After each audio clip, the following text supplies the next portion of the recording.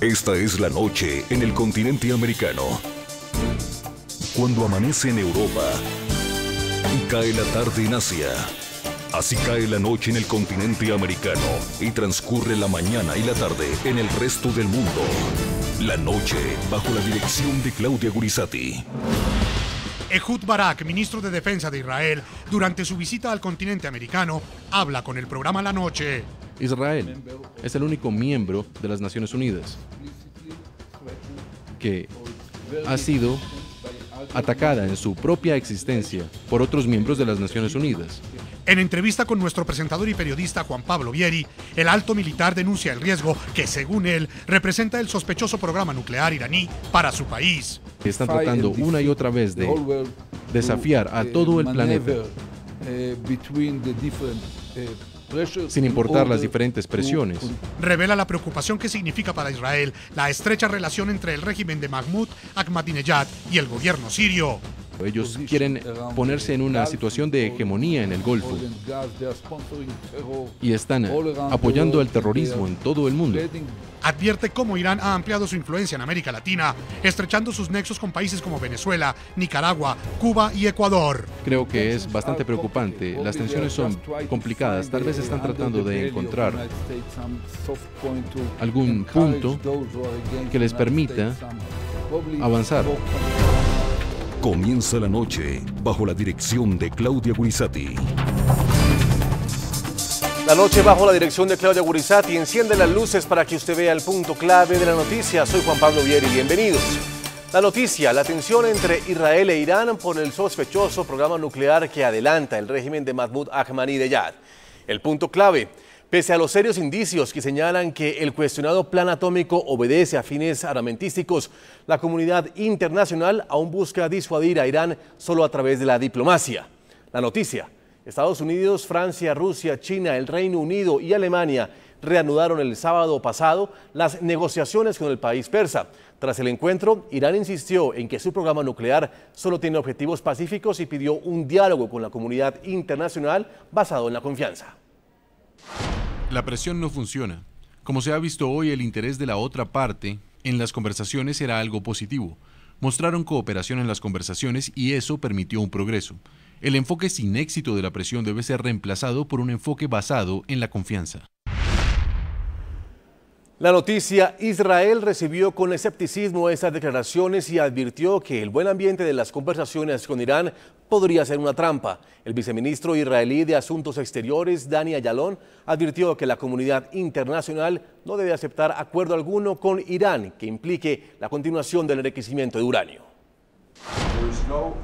No hay un medio embarazo, o paran o no paran y si paran solo parcialmente o hasta un determinado grado, significa que continúan, lo que les da todas las instalaciones e infraestructuras en algún momento del futuro para simplemente continuar sin ningún límite.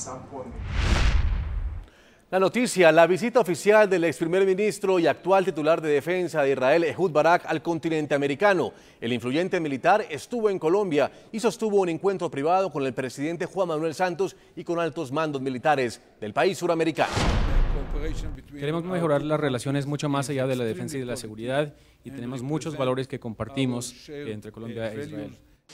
Quisiéramos ampliar nuestro área de acción, tanto en la parte de agricultura, en la educación. Son muchas las áreas en las que pudiéramos, eh, quisiéramos eh, comparar nuestras experiencias.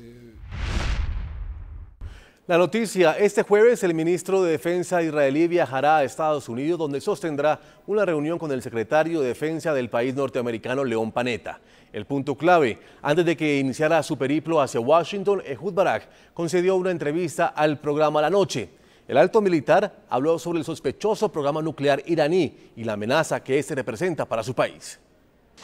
El actual ministro de Defensa de Israel es la mano derecha y persona de mayor grado de confianza del primer ministro Benjamín Netanyahu.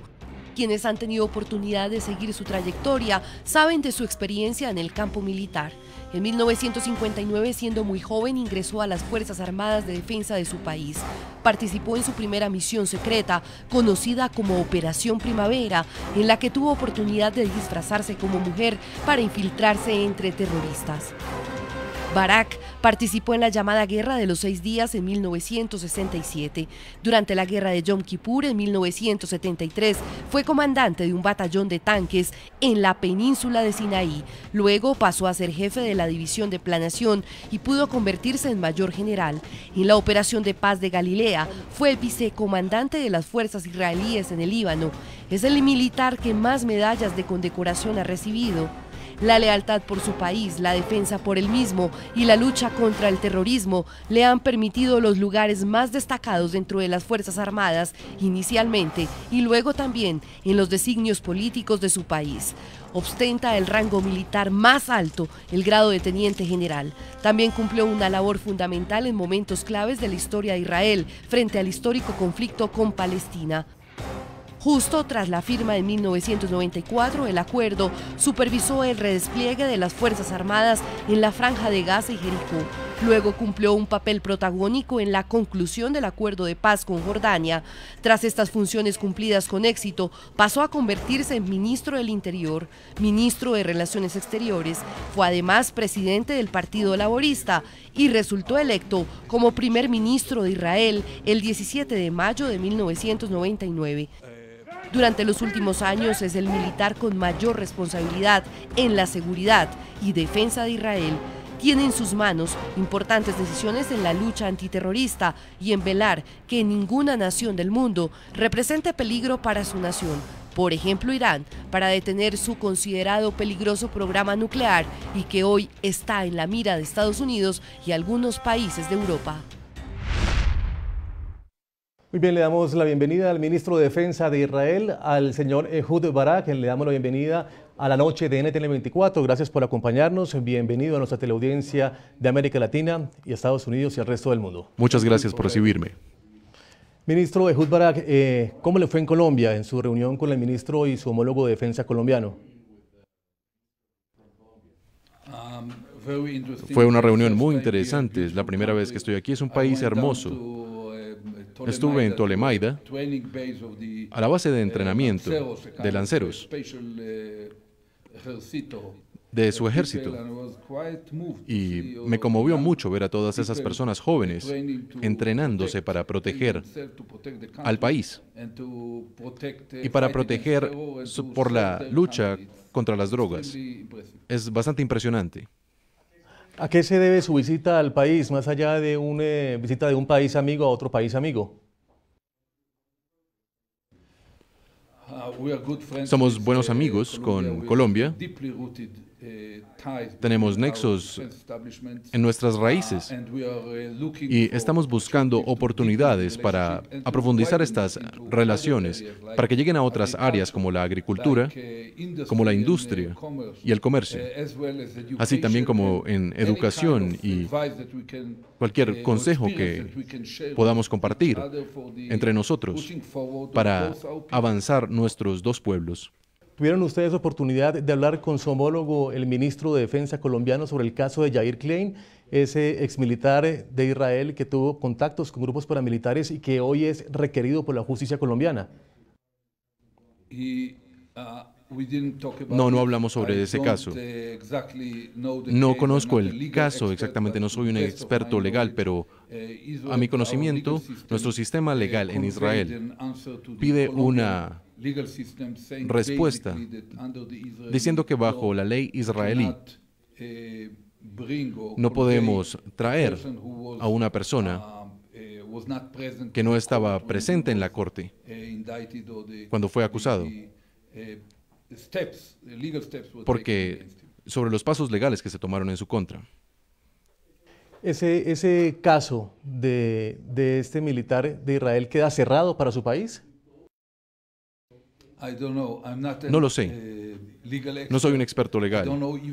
Ni siquiera sé cuáles son los detalles de este caso y eh, me siento confiado en que, sin importar cuál sea la petición de las autoridades colombianas, la tomaremos muy seriamente y la consideraremos de manera seria en nuestro sistema legal. Hablemos, eh, señor ministro de Defensa de Israel, Ehud Barak, de un tema que le interesa al mundo y es sobre lo que sucede en Estambul se reunieron eh, los países eh, del Consejo de Seguridad de Naciones Unidas, el grupo de 5 más 1 y tienen una reunión próxima a realizarse en Irak, en Bagdad, para hablar sobre el tema de Irán y el desarrollo nuclear de Irán. ¿Usted cree que se está acabando el tiempo de la negociación con Irán o sencillamente se están buscando largas para evitar una confrontación con Israel? No podemos saberlo, eso lo dirá el uh, tiempo. Pensamos que las sanciones que han sido tomadas contra Irán en los meses que han pasado, el embargo sobre las exportaciones de petróleo y especialmente el bloqueo uh, para hacer más aproximaciones con la comunidad internacional a nivel de las transacciones. Junto con estas nuevas discusiones son pasos en la buena dirección, pero el punto es que el objetivo debería ser bloquear a Irán y evitar que tengan armas nucleares. Y eso no puede ser logrado simplemente con diálogos. Tenemos que ser muy claros con las demandas y los objetivos de estas negociaciones, que ahora han sido abiertas en Estambul y que van a continuar. Esto debería ser claro para poner un fin al programa nuclear iraní, poner fin al enriquecimiento de uranio al 20%. Esto tal vez sea algo simbólico y para desmantelar las instalaciones en COM y en el terreno y poner a las autoridades iraníes bajo un mayor control de la OIEA. Simplemente cuando esos sean los objetivos, habrá una oportunidad para bloquear a Irán y nosotros en Israel estamos viendo el comportamiento de Irán y realmente no confiamos en que ellos están tratando de lograr un acuerdo. Vemos que están tratando una y otra vez de desafiar a todo el planeta sin importar las diferentes presiones, y tratan de continuar con su programa nuclear, así como lo hizo Corea del Norte o como lo hizo Pakistán en otras oportunidades.